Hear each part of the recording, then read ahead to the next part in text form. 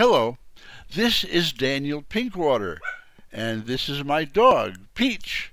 Peach will help me make this video. Oh, this is a video, and you will notice that the image does not move. It's a stationary video. This is something I'm working on. Anyway, the video is supposed to be about my book, Crazy in Poughkeepsie which is a book I wrote. I write books. It's something I do.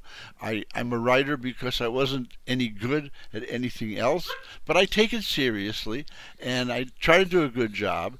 And I think this is a nice book that you should read you should read it and see if you like it. You won't know if you like it unless you read it. If you don't like it, give it to someone else. They might like it, but you might like it. Anyway, I hope you like this video. It's the first one I've ever made, and I'm very pleased with myself at being able to make such a great stationary video.